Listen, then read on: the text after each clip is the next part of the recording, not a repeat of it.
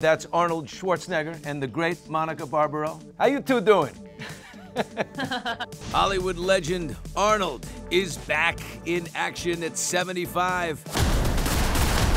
He's starring in his first ever TV series alongside Monica, who's breaking out pretty big herself right now. Let's talk about Monica for a second here. I mean, she's Oh, great, she- great. she's rolling Top Gun Maverick, you know, with Tom Cruise right into Fubar with Arnold Schwarzenegger and just toe to toe with both. What is the difference between those two men, Monica? Besides age?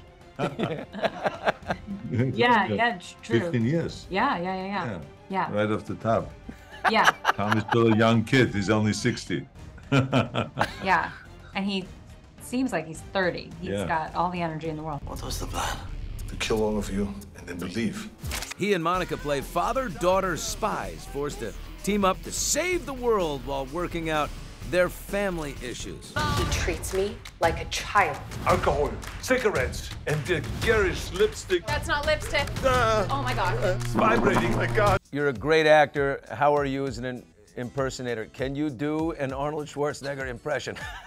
That uh, I think um, if you see our third episode, it's a it's a pretty bad one. I'm Luke Brunner. I sort of tried to like mesh some version of the impersonation we all know Let and me love, hear it. and like I gotta hear it. he Give me a little sounds taste. like oh god no uh, i haven't done enough vocal work to get that uh, deeper register you want to do my do you want to do me No, just just do what he says. I mean, wait just how did you help me get into now. it we get down Yeah, it- exactly. Get you- down. get down Yeah, exactly. There you have it. Yeah. Get to the chopper.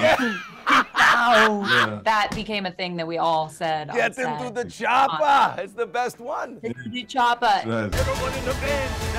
I was texting with your son-in-law, Chris Pratt, who is a great friend, and I said, "Tell me something about Arnold." He said, "I have taken him to a draw in chess twice, but I have never beaten him."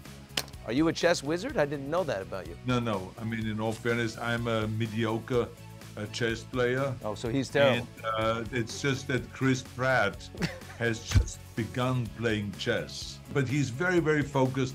He's very, very smart, and he's a quick, quick learner. So I think he's extraordinary. arnold is such a committed chess player that on his birthday the cast we all went into his trailer with desserts and cigars in our mouths and singing him happy birthday and he looked up and looked back down at his chess game and wouldn't come out until he was done I was in the middle of a game, almost losing the game, so I had to stay focused.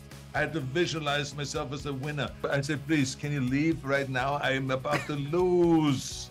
Yeah I'm from Austria, where life is hard and everything costs a You know what nickel. costs more than a nickel? Their on-screen relationship mirrors what you get here, like when they talk about Monica's dog. here's the thing feeds my dog so much food I had that one day at night, I had Wiener Schnitzel.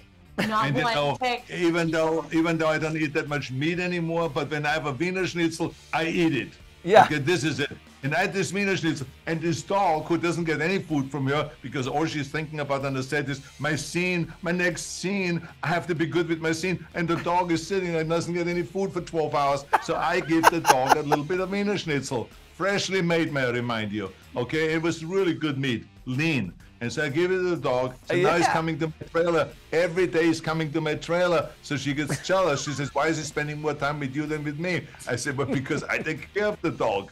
I mean, this I is. feed my it's- dog. Oh, okay. Oh, he gained, he things- gained like 10 pounds. I'm gonna that. I'm gonna bring my, big. my donkey the next time on the set. Oh, yeah, he's got little donkeys. Well, we'll wait for season two for that. Season one launches May 25th on Netflix. Yes, let's crush it. Come on. Uba! Uba!